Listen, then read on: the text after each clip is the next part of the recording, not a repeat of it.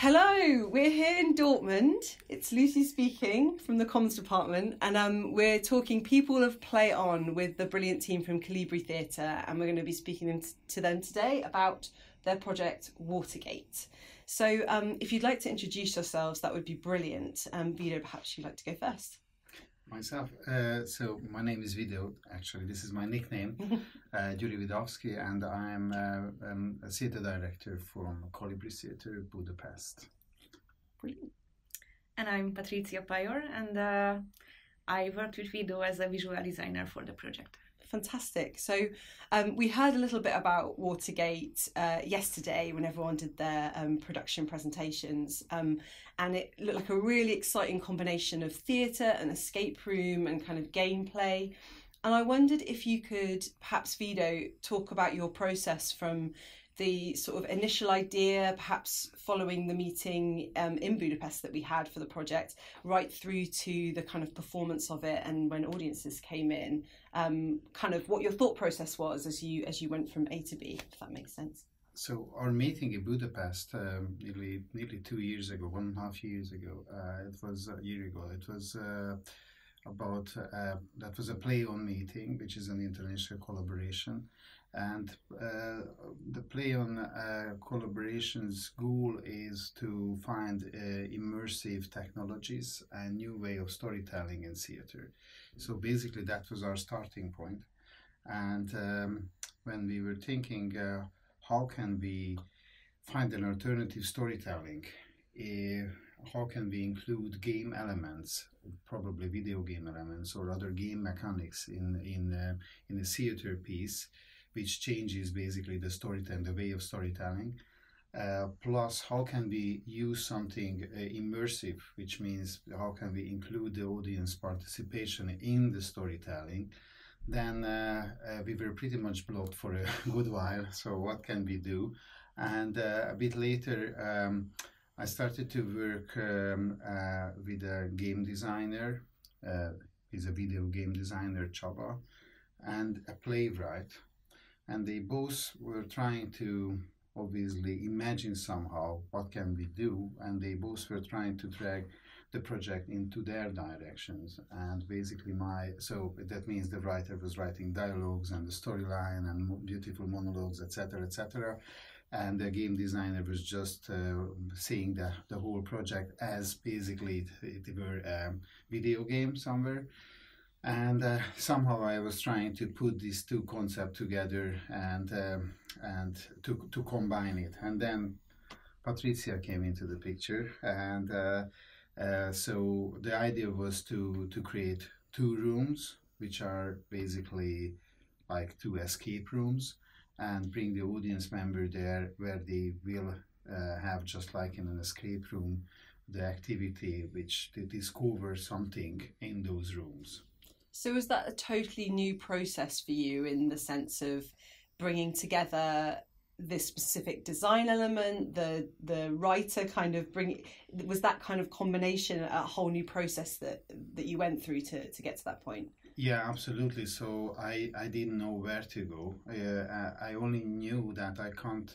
So I don't want to make a conventional theater piece. So that's why I was trying to kind of give a hard time to the to the playwright to forget about writing a proper scene or whatever, and um, and I, I did know that somehow and I'm not so familiar with video games and game game mechanics. So actually that was a, that was a harder bit for me because uh, I couldn't really imagine how they could work uh, in in uh, with I mean in a live action uh, we talked actually to Rachel Briscoe as well from the UK, who had a great experience in uh, creating uh, live games with uh, interactive games with with uh, with participants, and uh, in which there are no actors at all. So.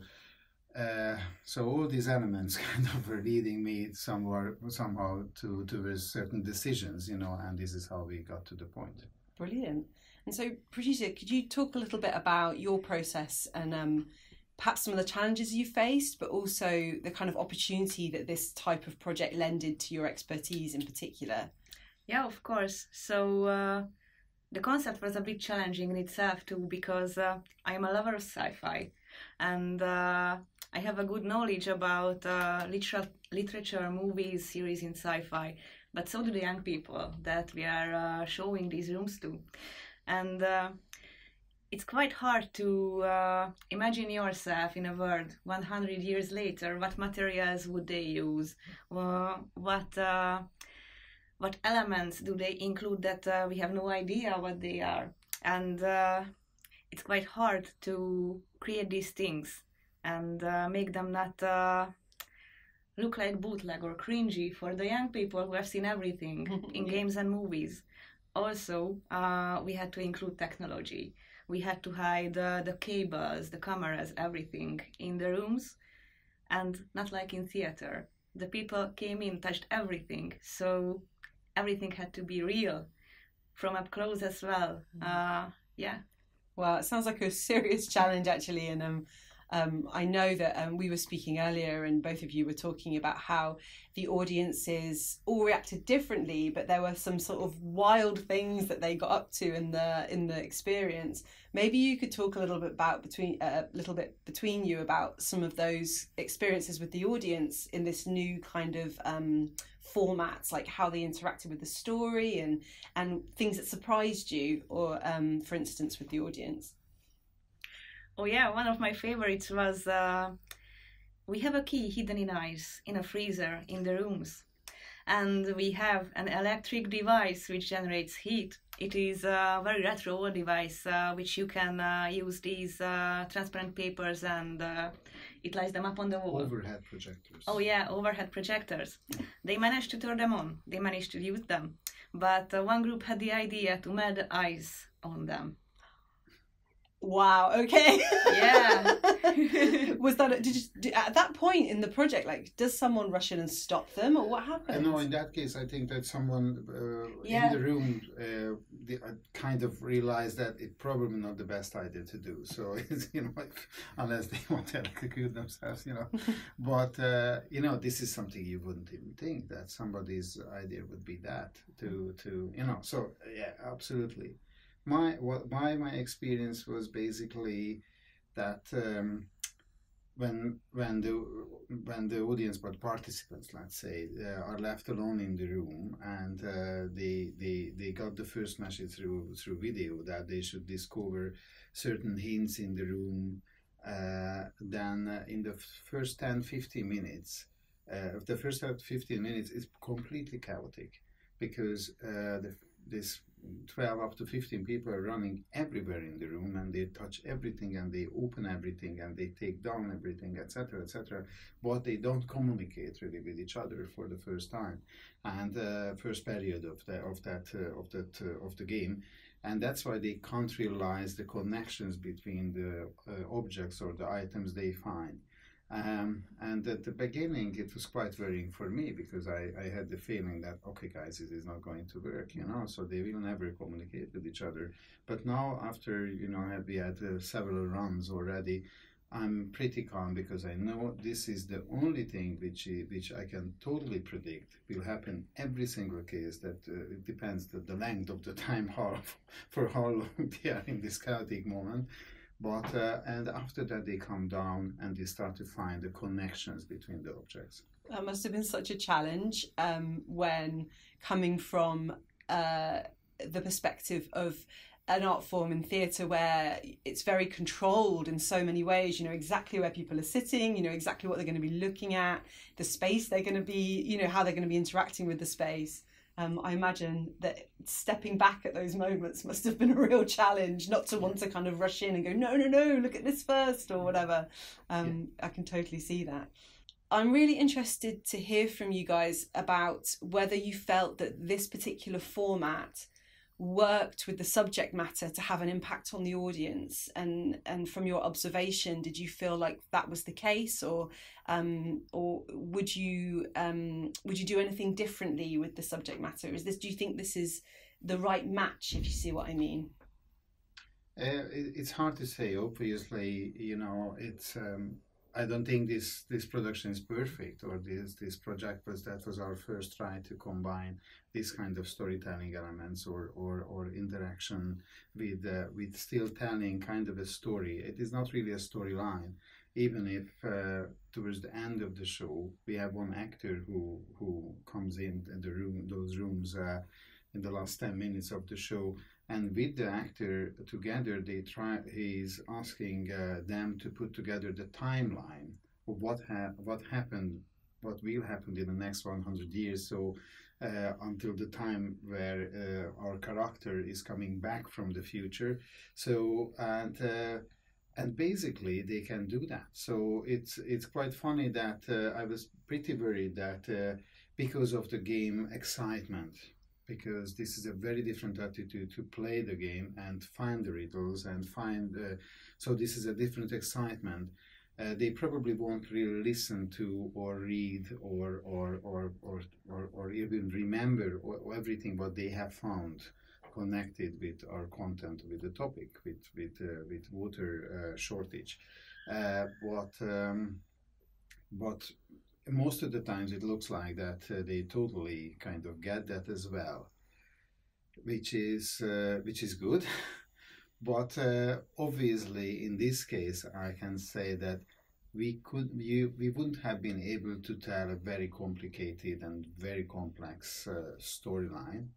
Uh, on the other hand if you want to make a production about environment which is not a very typical topic for a theater show very few emotional parts mm-hmm. is that in that so i think uh, this pretty good result because basically they got as much as it's possible to kind of uh, get through in a in, in a, in a, in a theater uh, production about this mm. well actually in the first trials we had a little problem with that because uh, we have these propaganda movies during uh, the show and exactly when uh, the chaos is happening what Vido talked about uh, the monitor lights up. And we have these uh, quite long like four minutes i think uh, movies. And nobody stopped what they were doing. And nobody uh, listened. Even the people who tried to could not because of the others.